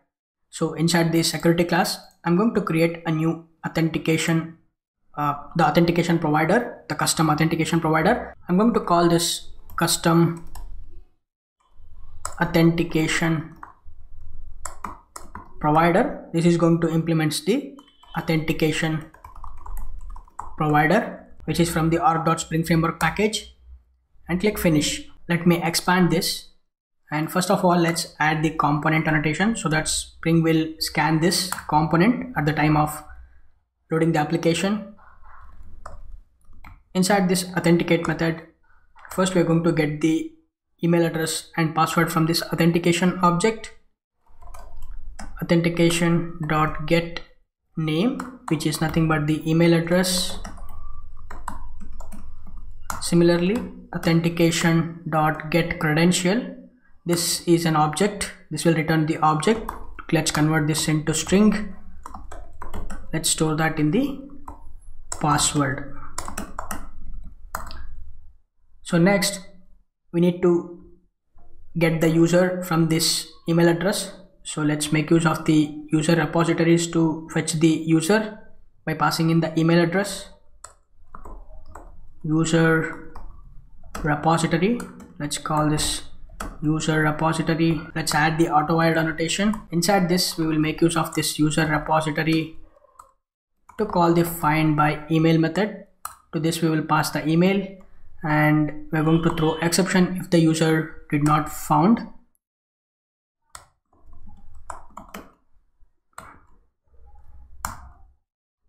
New username not found exception. We will pass the message user not found. This will give us the user back. Let's call this user. Next we need to compare the passwords. We need to check for the password. Let me import this user from the entity package. Inside this we will make use of the password encoder. Password encoder let's call this password encoder. Let's add the auto wired annotation. Inside this let's make use of this password encoder. Dot matches. You can see we're going to compare the passwords. The first password is the raw password. The second parameter is the encrypted password which is user dot get password. If this condition satisfies then we are going to return the authentication object. The authentication object implementation is username password authentication token. To this we will pass the email password and authorities. So we are going to create a empty array list because we are not dealing with the authorities. Next if the password is not matches then we are going to throw bad credential exception. Bad credential exception. Invalid credentials. And inside the supports method we're going to return a boolean. We will check the authentication provider that it supports. Authentication dot equals user name password authentication token dot class. That's it. Let's save the file. The next step is to inside the authentication inside the security con config class web my security config. Here we need to comment this line and we need to provide our own authentication provider auth dot authentication provider and we need to pass the authentication provider which is the custom authentication provider. Let's auto wire this. Custom authentication provider. Let's call this authentication provider. Let's auto wire this. Okay we are passing the authentication provider. So let's save this our application is restarted. Let's go to the postman. And let's open a new tab. Let's go to the login. Let's change this to post. Localhost colon 8080 slash login inside the body. Let's choose raw and change it to json. Let's provide the email address which is bushan at gmail.com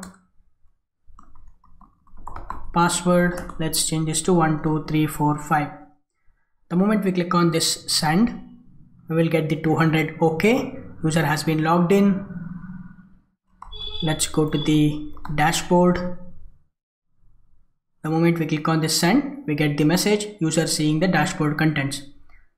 So let's go to the sts and let's stop this. Let's run this in the debug mode so we'll get to know that. I'm going to put a debugger here. And let's run this in the debug mode. Let me go to the postman. Let's change this to login. Let's change this to post. Application is restarted. The moment we click on this send and you can see our control comes to this authentication provider custom authentication provider. Here our business logic will be executed. And the moment we click on this next it will the user will be logged in. Super. So now we have understand that how to create the custom authentication provider. The main goal of this uh, video is to how to create the authentication uh, provider the custom authentication provider in your application there might be a different scenario. In uh, in my application in my requirement just for the demonstration purpose the user will enter the username and password. Then we have uh, created a custom authentication provider and we have validated the user against the database. But in your application there might be a different scenarios like you need to validate the user by using the iris scanner or the fingerprint scanner. In such scenarios you have to create your own custom authentication provider and you have to create our own implementation for that yeah that's it for this video. Thank you so much for watching. I will see you in the next video. In this video we're going to discuss about configuring the authorities in spring security application. So first let's understand what is authorities. Let's understand this with a simple uh, easy to understand example. Authorities is nothing but the permission. In every real world application for example for every user there is a specific permission for example, user 1 is having the read permission. In that case, that user is only responsible for reading the contents inside the application. Similarly, the user 2 is having the write permission. In that case, that user is only responsible for creating the contents inside the application. He does not have a responsible for reading the contents or updating the contents or deleting the contents. So similarly, every user is having a specific permission. That is nothing but the authority. So in this video, exactly we're going to do configuring the authorities inside the Spring Security application. Let's understand how we can configure the authorities and uh, we will also understand in the next video how we can configure the role-based authorities. For now, let's understand the authorities. Let's look at the development steps for configuring the authorities in, inside the Spring Security application. Now you can enroll into my premium courses on Udemy. I have three specific courses the first one is build production ready REST API with Spring Boot, which includes the expense tracker API. The second one is full stack development with React and Spring Boot that includes the React hooks. And the third one is JSP and servlets for beginners. All the links will be given in the description section of this video. If you join these courses through my link, then you will get a 90% discount. Now back to the video. So in order to configure the authorities, we're going to create a new JPA entity, which is the authority. Okay, so it contains the properties, which is ID and the authority itself. So authorities, in our case, it's nothing but the read authority, write authority, update authority, or the uh, you know delete authority. So these are nothing but the authorities in our case. We're going to add the annotations, entity, table, data, all argument constructor, and no argument constructor by the time you already know all these annotations so i don't go over in detail about explaining these annotations. The go the idea here is to create a new jpa entity authority which contains the properties id and authority. The second step is to we need to create a relationship between the user and the authority entity. So inside the user entity we are going to create a field which is authority and we're going to add the one-to-one -one mapping in real world application every user is having a multiple authorities okay? But for now just to keep it simplicity let's assume that every user is having a single authority okay? So for that we are going to add the one-to-one -one mapping. In order to do achieve that we are going to make the one-to-one -one mapping. So we will create a field private authority and we will add the one-to-one -one mapping. And we will add the join column annotation and we will provide the column name which is authority underscore id so this is a foreign key to the authority entity or the authority table. Whenever we are saving the user, we will also save the authority of that user. The next step is to, we need to update the user model as well. Inside the user model, we are going to create the authority because we have to map this user model authority, uh, user model data to the user entity. So for that, we will also create a property inside this user model, which is the authority. So the next step is to, we're going to create a few REST endpoints. We will create the REST endpoint for dashboard slash dashboard, and we will also create a REST endpoint for slash profile. And the next step is to, we need to update the configuration file. So inside the security configuration file, we are going to provide the uh, we are going to customize the http request. So inside the configure method we are going to customize the http request. We are going to permit all for the slash register and slash login. So this slash register and slash login api are public endpoints. Anyone can access these endpoints. Whereas the slash dashboard endpoint is only accessible for the user which is having the authority of read authority Similarly, the slash profile endpoint is uh, accessible for the user which is having the authority write authority. So these are the uh, customizations that we're going to do and uh, the next step is to we need to pass the authorities to the authentication provider. So inside the custom authentication provider earlier we were passing the empty array. We are passing the uh, array list which is having the empty authorities but now we have configured the authorities we are going to get the authorities from the user object and we're going to pass it to the authorities object. So inside this, we're going to create a list which is having the granted authority and we're going to uh, add the authorities. We will create the simple granted authority and from the user object, we will get the authority and we will add it to the authorities list and that authorities we're going to pass it to the username password authentication token which is pretty straightforward okay so nothing uh, much fancy here we have just create a relationship between the user and the authority and every user is having a single authority and we have customized the HTTP request inside the configuration file and also we are getting the authorities and we are passing it to the username password authentication token. That's it. Now let's jump to the STS IDE and let's write a code for this. Okay, I'm inside the IntelliJ IDEA. Let's go ahead and create the JPA entity for authority. So that is our first step. So inside the source main java inside the entity class inside the entity package i'm going to create a new java class. I'm going to call this authority.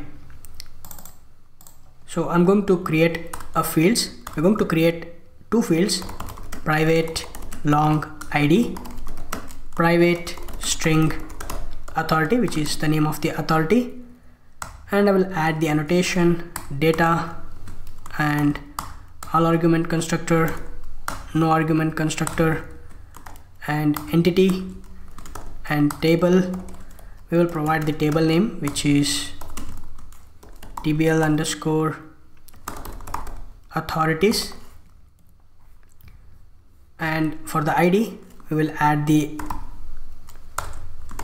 id annotation and generated value we will specify the strategy which is generation type dot identity. So let's save this. So now we have created the JPA entity which is authorities. And next we need to set up the mapping between the user and the authority. We're going to set up the one-to-one -one mapping. So let's open the user entity. And inside this let's create a field private authority we're going to add the annotation one-to-one -one mapping. Let me create some white space.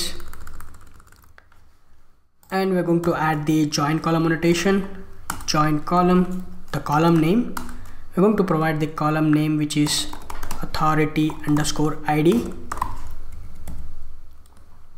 let's save this. So now we have set up the relationship between user and the authority which is one to one and if you go to the database and let, let me refresh this. And you can see we have created the new authorities table and the users table.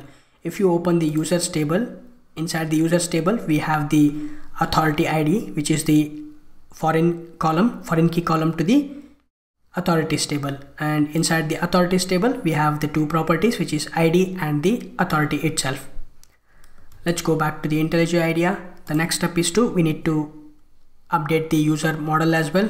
Let's open the user model inside this. Private authority. We're going to we need to provide the authority as well. Authority. Let's call this authority.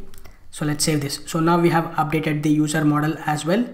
The next step is to we need to create a few rest endpoints. Let's open the home controller and we have already created the dashboard. So let's copy this and paste it. Let's provide the URI which is profile slash profile.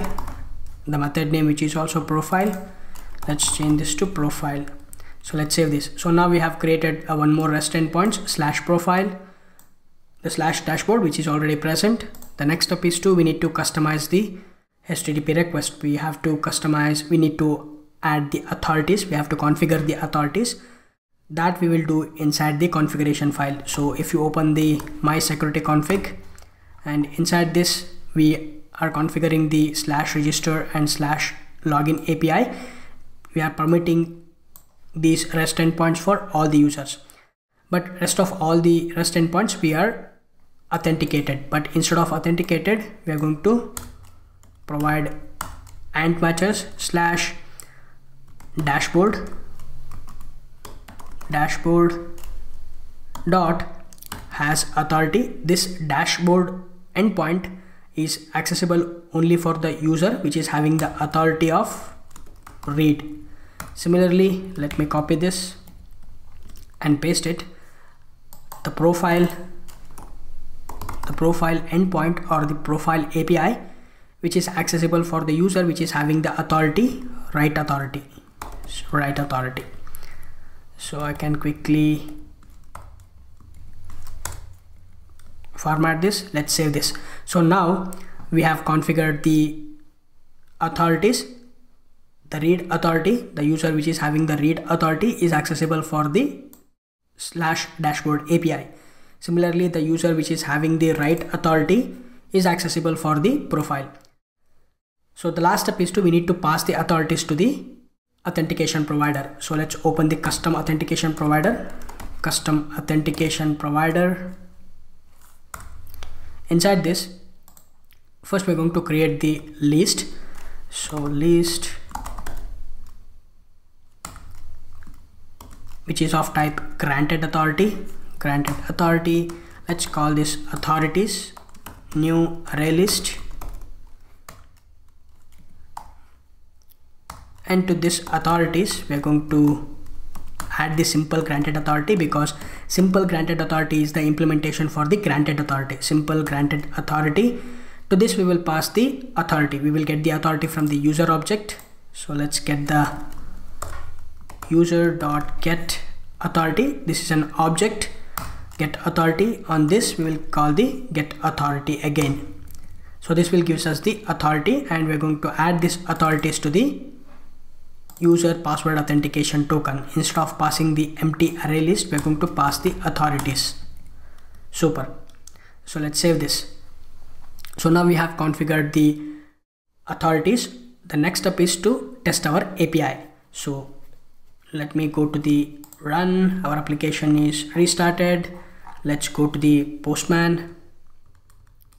And before that we need to insert few records to the authorities. Let's go to the database and inside this authorities let's add the records. One which is read authority.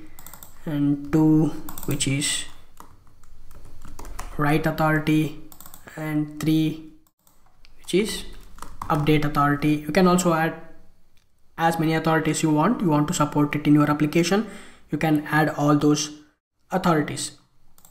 So let me click on this apply click apply and close so now we have our three authorities in our inside our database.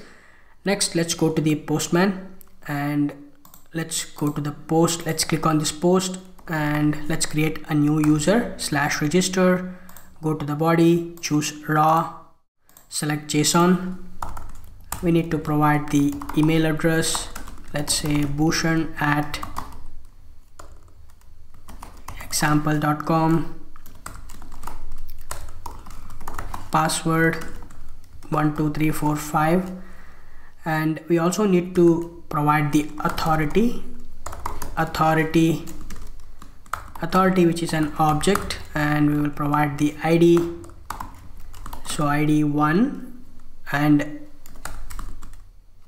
the authority name which is read. So the moment we have click on this send a new user has been created. If you go to the database and if you click on this users as you can see the user has been stored into the database.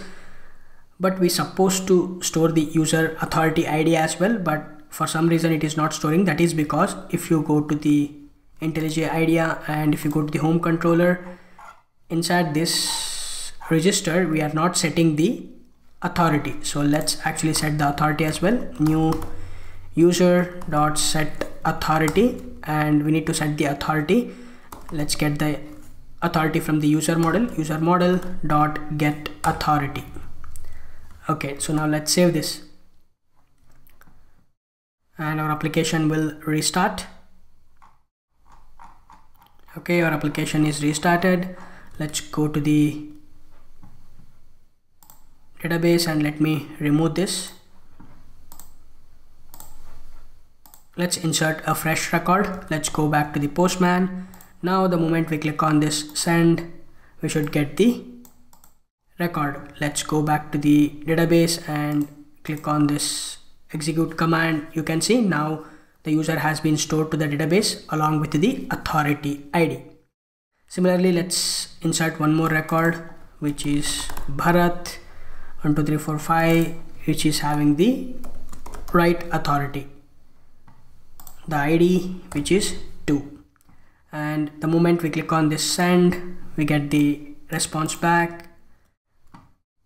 You can see now we have uh, one more record Bharat and uh, the authority ID which is 2 and Bharat is having the write permission whereas Bushan is having the read permission.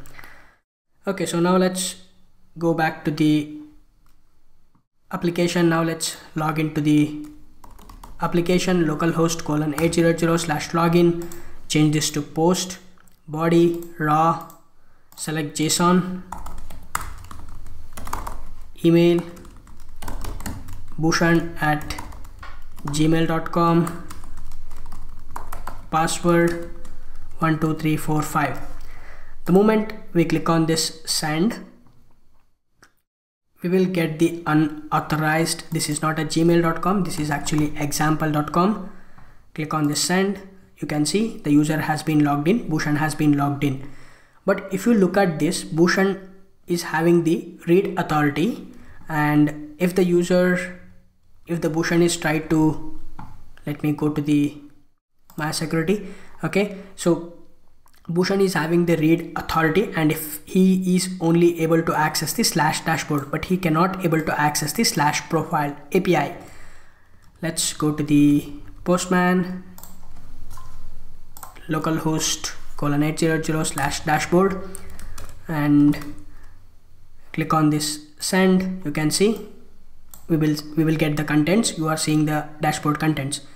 If I try to access the profile we will get the forbidden because Bushan is having the authority read authority and he can only able to access the dashboard API but he cannot able to access the profile API. This is what the authority is. Similarly now if the user is logged in as a Bharat, Bharat at example.com now Bharat has been logged in. Bharat can able to access the profile. Click on this send. You can see Bharat can able to access this but Bharat cannot able to access the dashboard API. Click on this send, you can see forbidden. Super. So this is how you can configure the authorities inside your application. It is you just need to set up the relationship between user and the authorities and then you can restrict it inside the configuration file, the Spring Security configuration file using the ANT matchers. Yeah, that's all about this video. Thank you so much for watching and in the next video we will discuss about configuring the roles. I will see you in the next video. In this video, we're going to discuss about configuring the user roles inside the Spring Security application. In the previous video, we have discussed about configuring the authorities inside the Spring Boot application and in this video, we will discuss about the user roles. In real world applications, most of the times we will use, we will configuring the user roles instead of the configuring the authorities.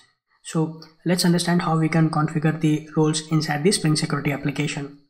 Now you can enroll into my premium courses on Udemy. I have three specific courses.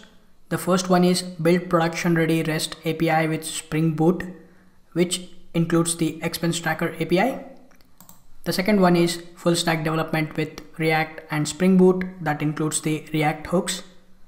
And the third one is JSP and servlets for beginners. All the links will be given in the description section of this video. If you join these courses through my link, then you will get a 90% discount. Now back to the video. So the first step is to, we are going to update the authority entity class. We're going to set up the one-to-many relationship between the user and the authority because one user can have a multiple authorities or multiple roles. So that is what exactly we're going to do. Inside the authority entity class, we're going to create a field private user and we're going to add the annotation many to one. Many authorities are mapped to a single user. So that is what the many to one.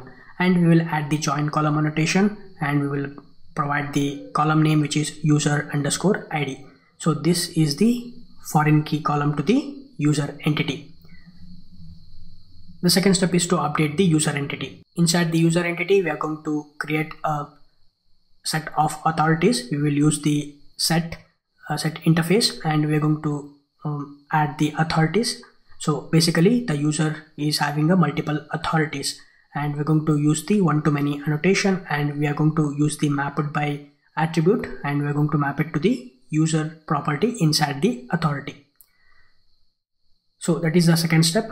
And the third step is to inside the spring security configuration class we are going to restrict the urls so we're going to make use of the has role and has any role and slash dashboard. This is the endpoint which is only accessible for the user which is having the role admin. And similarly for the profile url the user is having the role of super admin can able to access the slash profile.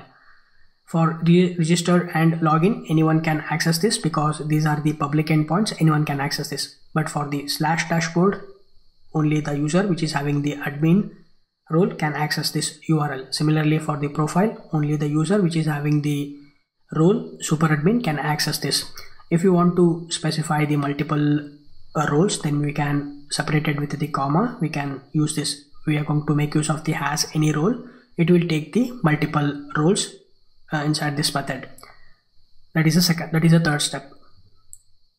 And the last step is to we need to pass the authorities to the authentication provider for the custom authentication provider.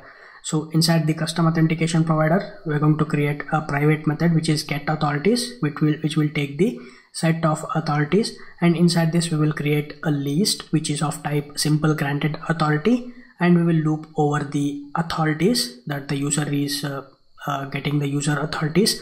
And we will add it to the simple granted authority. And we will return that list and we will add that authorities to the user password authentication token.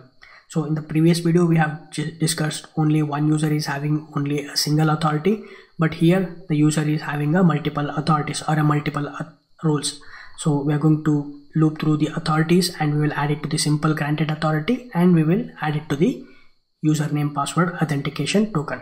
So these are these are the development steps. Now let's jump to the sts IDE and let's write a code for this and test the api okay i'm inside the intellij IDEA and most of the things i have already made the changes inside this uh, spring security application so inside the authority entity i have already declared the property which is user and I have added the annotation many to one and we are adding the join column annotation and we are creating the column user underscore id.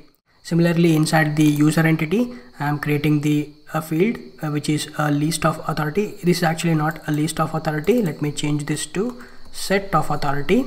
And this is a set. Let me import the set from the util package. And this is a set of authorities. And we're going to use the one to many annotation because one user can have a multiple authorities or a multiple roles and we're going to map it to the property which is user from the authority entity. And also I have already inserted a few records to the database. So let me go to the database and you can see inside the authorities let me execute this inside the authorities we have the four authorities which is role underscore user, role underscore admin, role underscore root, role underscore admin. And if you go to the users, we have a two users, which is Bushan and Bharat. Bushan is having two roles, Bharat is having two roles. Bushan is having two roles, which is of user and admin, and Bharat is having a roles which is of root and admin. You can see the user IDs. And if you look at this, when we are uh, working with the roles, inside the database we will add the roles with the we will prepend it with the role underscore followed by the role name but when we are configuring the http request inside the that is what the next step is when we are configuring the spring securities uh, when we are configuring the http request we are not going to use the uh, role. We are not going to add the role to the uh, role names. For example uh, slash dashboard this url is only accessible for the user which is having the role has role. We are going to make use of the has role method. And we will provide the role name which is let's say for example uh, super admin. Super admin but here we are not going to prepend the root. Sorry not the root. We are not going to pre prepend the role. This and role underscore is uh, by default prepended by the spring security. So whenever we are working with the role we should not prepend it with the role. Only we will insert the role underscore followed by the role name inside the database. But we are not not going to configure inside this http request okay now the slash dashboard is only accessible for the super admin and similarly the slash profile is accessible for the admin. Admin if you want to let me change this to has any role. If you want to provide multiple roles we can provide it with the comma admin slash user. So now we have configured the http request which is slash dashboard is accessible for the super admin and the slash profile is accessible for admin and user.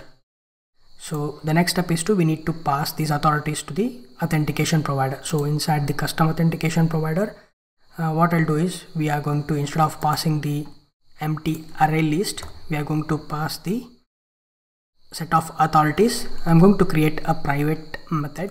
I'm going to call this get authorities and to this we will pass the user dot get authorities. So let's go ahead and create this method. Let me create this method in the down. And this will return the list of simple granted authority. List of simple granted authority. Inside this i'm going to create a set of authorities. So before that let me change this to set. This is not a list so inside this we will create a set which is of type simple granted authority and call this list is equal to new. Hash set. We're going to create a hash set. And we're going to loop through the authorities. So which is of type authority let's call this auth and authorities. And inside this we will create the uh, simple granted authority list dot add and we're going to create a new simple granted authority. And to this we will pass the auth dot get authority. So and finally we're going to return that set of authorities. Return list okay so now we are passing the list of authorities to the username password authentication token. Pretty simple. So let me save this. Now all we need to do is we need to test the apis so our application has restarted. And we should not have any errors. Now let's go back to the postman and I have already inserted a few records.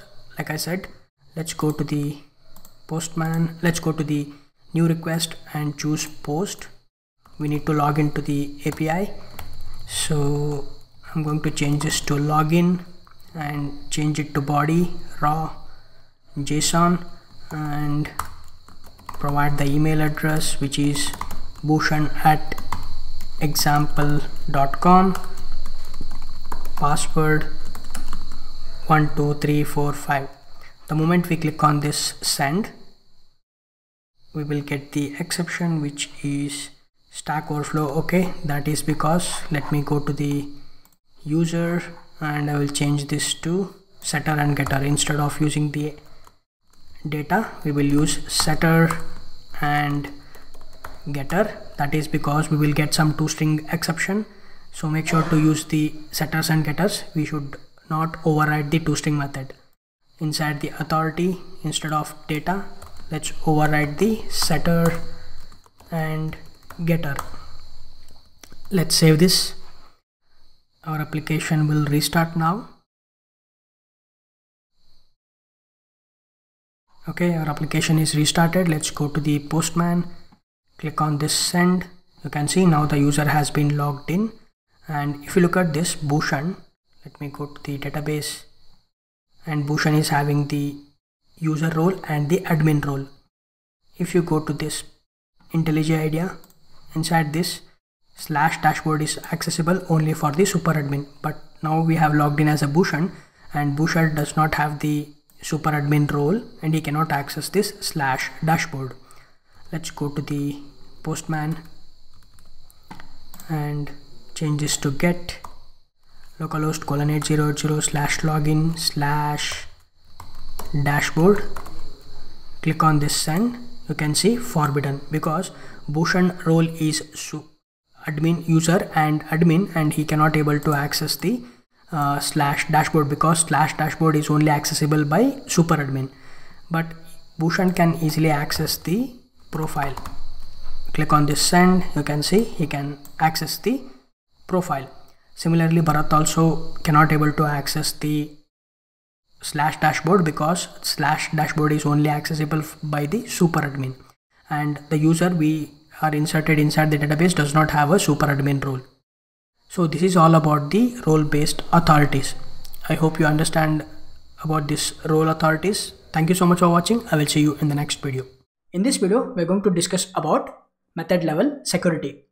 So far in our application, we have configured the roles inside the security configuration file. We have used the ant matchers and we have provided the URLs and we have provided the has role method to protect the URLs based on the roles. There is one more way that is using the method level security we can secure the methods we can secure the REST endpoints. So let's see how we can secure the REST endpoints using the method level security. So first of all what I'll do is I'm going to get rid of these ant matchers and I'm going to call any request and we will make authenticated. So any other request that should be authenticated. Next we're going to add one of the annotation to this security configuration class which is enable global method security to this annotation we're going to pass one of the option which is pre-post enabled we're going to set this to true so let's save this so now we have added the annotation enable global method security annotation at the class level for the configuration class and we have enabled the pre-post option. Next inside the controller. We're going to use pre-authorization annotation. So inside this to the above this method for the dashboard method. We're going to use at pre-authorize method. And we're going to specify what user has to access this method what is the role of that user that are able to access this url so has role. The role if the user is having the root role then that user can able to make a request to this REST endpoint which is slash dashboard. Similarly, let me copy this and I will add it for this profile method as well. And the user should have a role which is super or let make it user. If the user or if the user is having a role user then he can able to access this rest endpoint. So let's save this. Now let's run the application. Let's go to the main class and choose run as run as spring boot application. So this will start the application and let's go to the database let me expand the tables. We have two tables users and authorities. Right now there are no records. Let's go ahead and make a request and let's insert few records. Let's insert a single record. Let's create a single user. Let's change this to post. Localhost colon 8080 slash register. Make it choose body. Choose raw. Change it to json and provide email address and password. Email address let's say bushan at example.com password 12345 click send and you can see the record has been created. And if you look at the database we have a Bushan user in the database and inside the authorities we have two authorities for the Bushan which is root user and the admin user. So now let's go ahead and uh, test our APIs since the root user can be accessible to this API the root user can able to access this dashboard but user cannot able to access this profile because Bushan is having the admin user admin role as well as the root role. So now let's go to the postman and let's open a new tab and first we need to log into the application. Localhost 8080 slash login body raw choose json. Uh, let me quickly copy this and paste it. Click on this send. The user has been logged in. Now if the user try to access the dashboard click on this send we can able to see the message. You are seeing the dashboard contents because the user Bushan is having the role root but he does not have a, a role a role of uh, user since he cannot able to access the profile. So let's access the profile. The moment we click on this send we get the forbidden 403 forbidden because the user Bushan does not have the user role. So this is how you can use the uh, method level security using the uh, pre-authorization pre-authorize annotation. You need to enable at the service layer using the enable you need to add this annotation enable global method security so that you can add the you can use the method level annotations which is in using pre-authorize and post authorize so that's it for this video. Thank you so much for watching. I will see you in the next video